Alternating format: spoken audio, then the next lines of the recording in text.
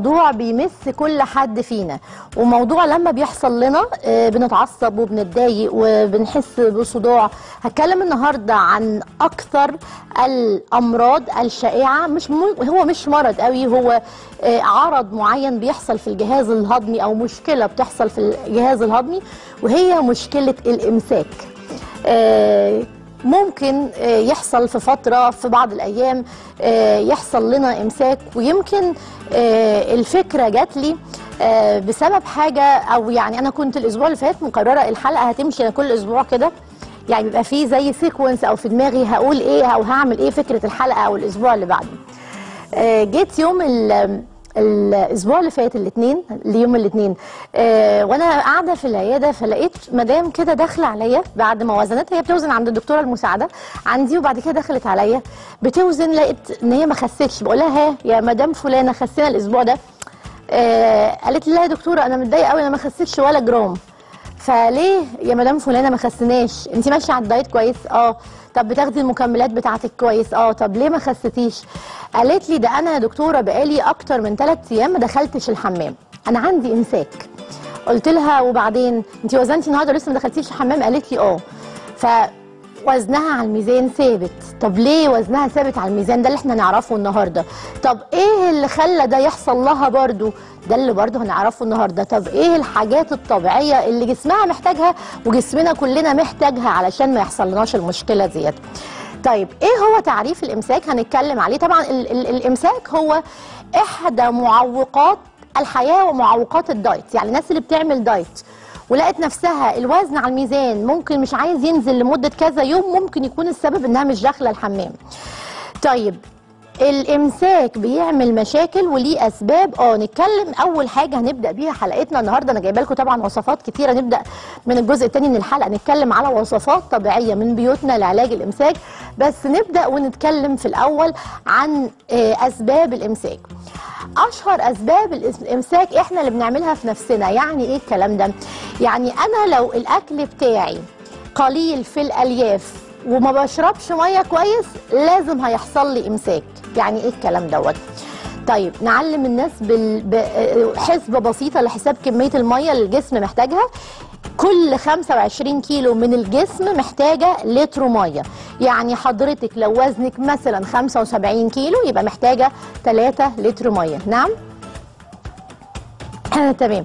لو أنا محتاج لو أنا آه الوزن بتاعي مثلا واحد وزنه مثلا 100 كيلو يبقى ده محتاج 4 لتر مية وهكذا. 50 كيلو محتاجة 2 لتر مية.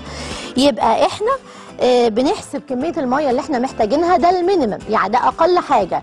اللي وزنه كل 25 كيلو من الوزن محتاجة 1 لتر لتر من المية. طيب دي الطريقة اللي هحسب بيها أنا محتاجة مية قد إيه.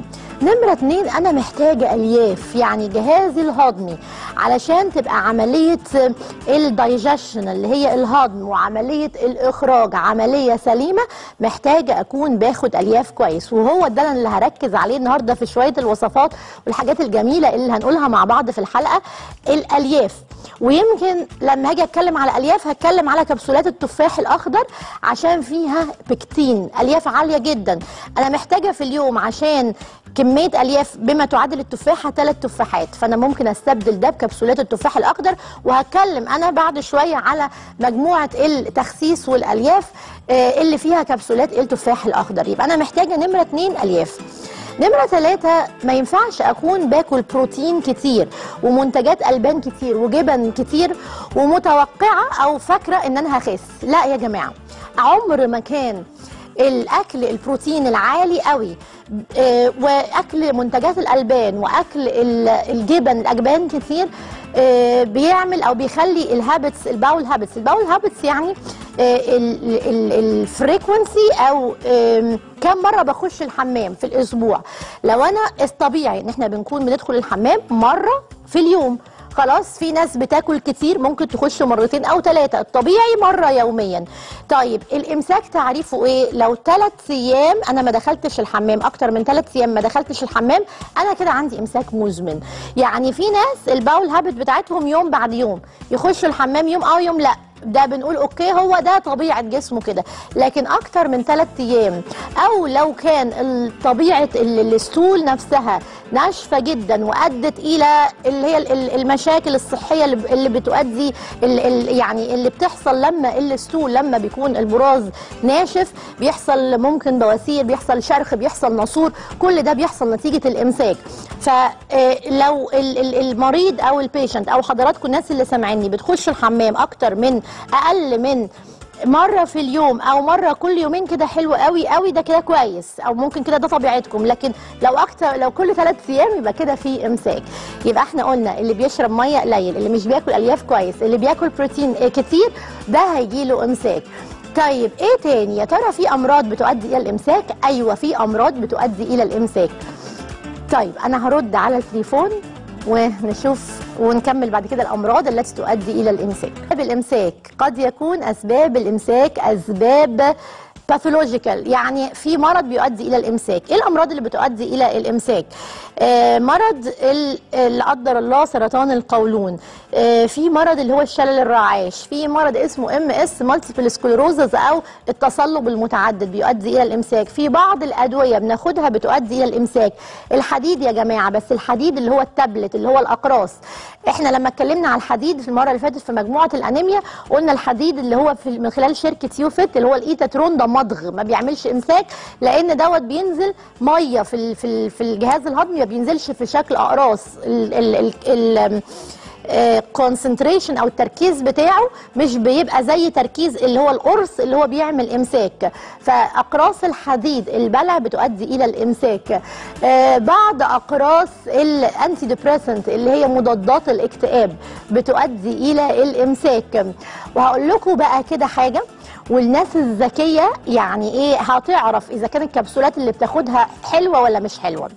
طبعا إحنا دلوقتي في عصر التخسيس وكبسولات التخسيس وكل شوية كبسولة تخسيس والكبسولة السحرية والكبسولة دي بتخسس قد إيه وقد إيه. هو عامة ما فيش حاجة اسمها الكبسوله بتخسس كيلو ولا اتنين ولا تلاتة وأربعة. ده في عوامل كتير قوي بتخش في ال... في, في عمل الكبسولة هنتكلم عليها. بس لو الكبسولة اللي أنت بتاخدها دي عملت لك إمساك مزمن بلاش منها. اعرف ان الكبسوله دي مش كبسولة طبيعية. اعرف ان حتى لو حد طلع وقال لك دي كبسولة طبيعية وجيت اخدتها ولقيت نفسك مش عارف تخش يومين ثلاثة الحمام يبقى دي عندك كده امساك مزمن يبقى ده المشكلة في الكبسولة. خلي بالكوا في فرق ان أنا اخدت كبسولة قفلت لي الشهية شوية فقللت لي حجم الأكل فقللت معدل دخولي الحمام. ده حاجة. لكن أنا آخد كبسولة أقعد باليومين ثلاثة متضايقة مش عارفة أخش الحمام يبقى الكبسولة دي يبقى فيها مادة كيميائية مش فيها مادة طبيعية. طب إيه كبسولة التخسيس اللي بتعالج الإمساك اللي هي الكبسولة اللي فيها ألياف زي كبسولة التفاح الأخضر دي فيها مادة اسمها بكتين عالية جدا جدا في الألياف. فلما باخدها الكبسولة ديت وبشرب معاها مية كويس أنا كده باخد احتياجي اليومي من الألياف.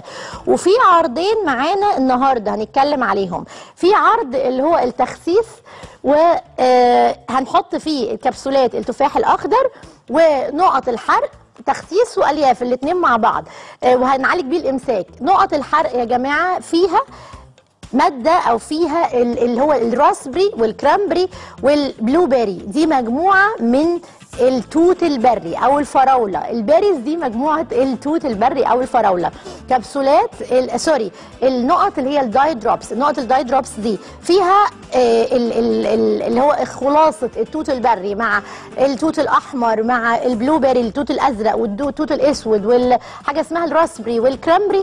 كل ده موجود في نقط الحرق هي بتساعد الحرق وفي نفس الوقت هي بتساعد إن أنا أخش الحمام بانتظام فإحنا بنضرب عصفورين بحجر زي ما بيقول المثل. يبقى أول عندنا مجموعة مجموعة التخسيس وعلاج الإمساك هيبقى فيها كبسولات التفاح الأخضر ومعاها النقط ال Diet Drops هديه ومعاها العلبة اللي هي فيها ثلاث شرايط ال Chito Cro هديه في مجموعة تانية هقولها برضو قبل ما نطلع فاصل.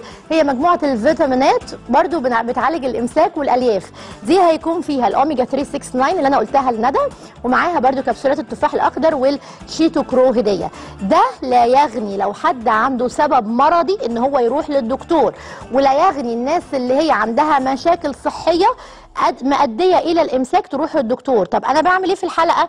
أنا بقول الأشياء الطبيعية أو المكملات الغذائية والفيتامينات الطبيعية اللي بتساعدنا في الحالة بتاعتنا. قدامنا دلوقتي صفحتنا على الفيسبوك أهي. الناس اللي عايز تتواصل على مع شركة يوفيت في العرض معانا علبة Chito Cro العلبة ثلاث شرايط بتكفينا شهر. وهتكلم أنا النهارده على كبسولات ال Chito Cro فيها مادة الشيتوزان والكروميوم مادة بتمنع أو بتقلل امتصاص الدهون والنشويات اللي في الوجبة ومادة تانية بتساعد على الحرق هي مادة الكروميوم. ودي هناخدها هدية مع العرضين. آه، آه، برضو ال ال الحمل بيؤدي إلى الإمساك.